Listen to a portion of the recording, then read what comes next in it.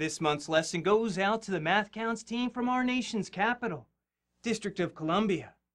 Now, in this problem, A, B, C, and D are positive integers, such that 1 minus 1 324th is the product of A over B and C over D. We have to find the least possible value of the sum of these numerators, A and C. Now we'll start off simplifying the left-hand side. Subtract 1 324th from 1,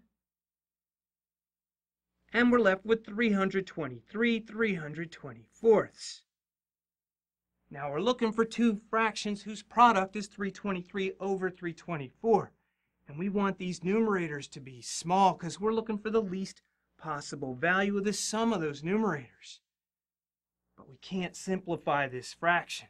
So we need to find two small numbers whose product is 323. Now right away I see I could put 1 and 323 in there as those numerators. But 323 is not very small. The sum of those numerators would be 324. Maybe we can do better.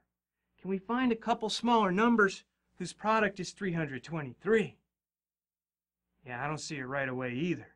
Now we could break out some prime factorization, try to divide 3 into 323, then try 5, that obviously won't work. Then try 7, then 11, but I gotta tell you, life's too short for that. Maybe there's a faster way. Wait a second. Check out this denominator, 324, I recognize that. 324, that's 18 squared. But this problem's not about the denominator, it's about the numerator, this 323. This 323, it's one less than 324. It's one less than a square. That's really nice. That's really nice because 1 is also a square. We can write that numerator as a difference of squares, and we can factor it as a difference of squares. 18 squared minus 1 squared is 18 minus 1 times 18 plus 1. 18 minus 1 is 17. 18 plus 1 is 19. 323 is 17 times 19. And 17 and 19 are prime, so we know that there are no other ways to come up with two numerators there than multiply to 323. Our only options are 1 and 323 or 17 and 19. And we want the sum of those two numbers to be as small as possible. So we're going to choose the 17 and the 19. Their sum is 36 and we're ready for the next problem. Now in this problem we have a couple circles given by the equations x squared plus y squared is 169 and x squared plus the square of y minus 14 is 225. Now these two circles, they intersect. They have a common chord. We have to find the length of that chord. Now we could just start drawing coordinate axes, draw the circles, but if we do that, then Harvey will roll in here, start bossing me around, tell me what to do. We can't have that. I think we can solve this problem without Harvey.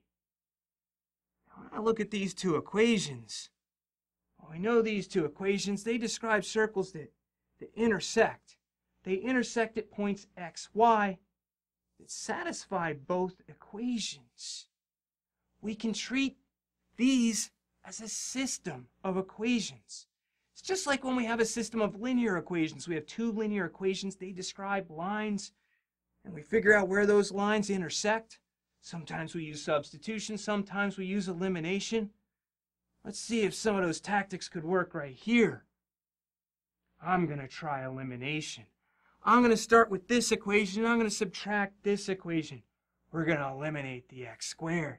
That's going to work. I'm going to start on the left-hand side. I'm going to start with this right here, and I'm going to subtract this right here. The x squareds, they're going to cancel, and I'll be left with that square of y minus 14 minus that y squared right there. The x squareds canceled out. Now over on the right-hand side, 225 minus 169, that gives us 56 Look at that on the left-hand side. We have another difference of squares. So we're going to factor that as a difference of squares. We'll have y minus 14 minus y times y minus 14 plus y. Still equals 56. Now these two y's cancel out. We're left with a minus 14. And then in here we have 2y minus 14. All this still equals 56. Now we could divide both sides by negative 14, but I see there's a factor of 2 in here. I'm going to divide both sides by negative 28. That'll take care of the negative 14 out here and the factor of 2 in there. Leave us with y minus 7 on the left. On the right, 56 divided by negative 28 gives us negative 2. Add 7 to both sides. Now we have y equals 5. And we can figure out x by taking that 5, put it back into this equation for y. We have x squared plus 25 equals 169. Then we subtract 25 from both sides. We have x squared is 144. So x has to be 12 or negative 12. And we found the two points where these circles intersect. Those points are 12, 5 and negative 12, 5. Same y coordinate. We don't need the distance formula for this. We can see that these two points, they're 24 apart. So the length of that common chord is 24. And once again, difference of squares made our lives a little bit easier.